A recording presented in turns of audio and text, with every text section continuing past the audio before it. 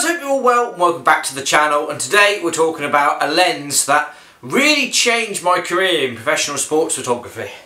It is oh, the Nikon 600mm f4 or in this case the box of it.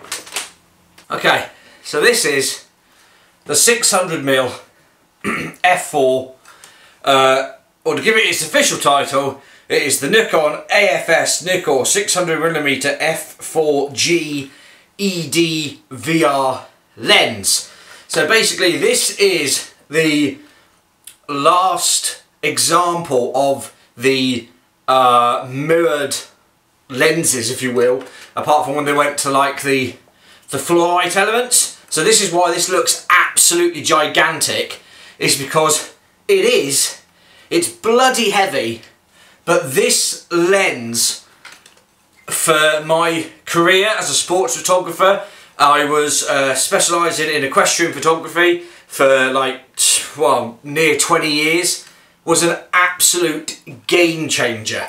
So I'm just going to cradle it like a baby for a minute and I'll just talk about this lens. So my signature toward the end of my career was using two lenses. One of them was the 600mm on a D800 and the other was a 200 f2 which I'll make a complete separate video about on another D800. Everyone gave me a load of shit for it. Uh, they kind of agreed with the 200 f2. They thought the 600 was just absolutely ridiculous. Uh, as you can see, I always used it on a monopod and they just said it was too long, too big. Uh, I didn't really give a give a damn about what, what anyone else said. I went and did my own thing. But this lens has produced some of the best images of my whole career to date. I absolutely love it. Of course, not just for sports, you can use this lens for a number of things, you know, birding, wildlife, oh, you know, some people, I've seen some people use this for landscape work if you're really trying to get like a Pacific shot that you can only use a long lens for. So and actually, even though it's massive, it's heavy, the front element is as big as my head. This lens is extremely versatile. Now, I used to use this, like I said, for equestrian photography and sports photography.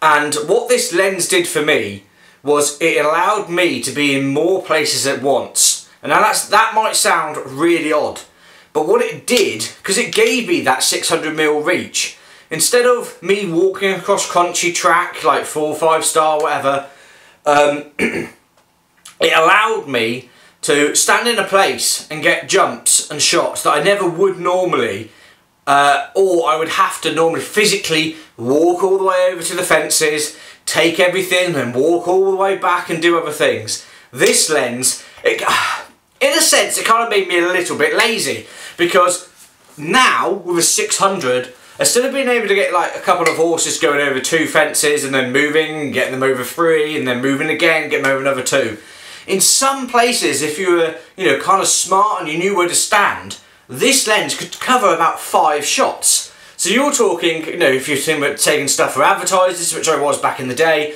you know you get five chances to get one person over a fence which is absolutely brilliant instead of being able to get one shot and one opportunity.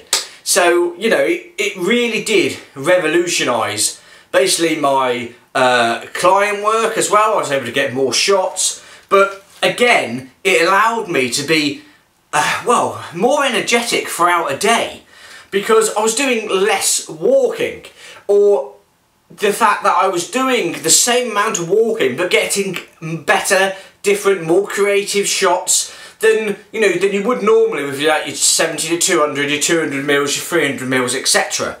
Um, a lot of people in the sport industry use a 400 2.8 and that is an absolutely fantastic lens. I'm not knocking it. They're absolutely brilliant. Uh, I know now the thing is if what people really want to achieve and think they've made it is uh, a 300 2.8 Again, absolutely fantastic lenses, uh, not knocking them at all. But for me, the my made it was always the 600mm. I borrowed one of these from Nikon to cover an event called Badminton Horse Trials. Uh, those in the US will know that's probably one of the most toughest uh, events going out there if you're familiar with that sort of equestrian world uh, compared to it to like the, ten, the Kentucky uh, three day event that's kind of like its equivalent um, I absolutely fell in love with it. So I bought this lens for an eye-watering £7,000 back in the day. And I think uh, say that's probably I'd say eight and a half nine thousand dollars. This lens today, I hate to say it because I'm thinking about selling it because I don't use it anymore, is around £2,800, $2,600. The second-hand market for massive lenses like this and the mirrorless, the mirrored, sorry, system, DSLR system, has just sadly skyrocketed uh, sorry, not skyrocketed, plummeted all the way down. Um, so you can pick up a lens like this, a pro lens that costs nearly, you know, nearly eight grand. Uh, basically, I think it was seven thousand two hundred and whatever or whatever, you know. So basically, seven grand. Let's just say seven grand. Now for a second-hand car, which I completely understand is still an absolutely ridiculous statement. This lens here is uh, a car for, for, for basically for all intents and purposes. I completely understand, um, but this lens has been an absolute dream.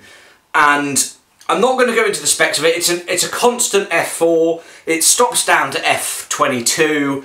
Uh, it's the new, even though it's VR, which you can probably see by the nameplate there, it's not the red VR, which means it's the second version of Nikon's VR system. Uh, it's VR2 but it's not classed as VR2, which is kind of weird, but that, that's what it is.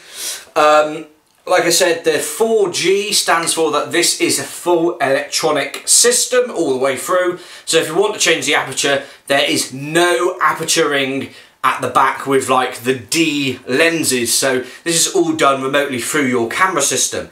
I use this on the D800 DSLRs, I've used this on my Nikon F5. It is extremely versatile lens. You can also use this lens on the Nikon mirrorless system as well. Um, bear in mind that you have to have an adapter, you have to have the uh, Nikon F to Nikon Z adapter to use this lens, but you can use it, uh, use all the autofocus, use all the VRs, etc.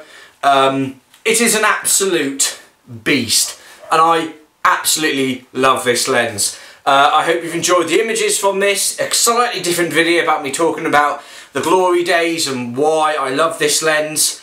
Um, but like I say, I think I might sell it because now I'm not in the sports world.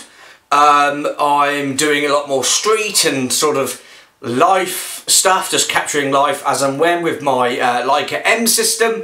So um, who knows? This this this probably might go for sale, but I absolutely love it. It's an amazing lens. I just thought I would uh, let you guys uh, on the channel know about it and uh, show you some images about it. But anyway, guys, thank you so much for all the love and support on the channel. I really do appreciate it. Thank you so much, and I'll see you all on the next one.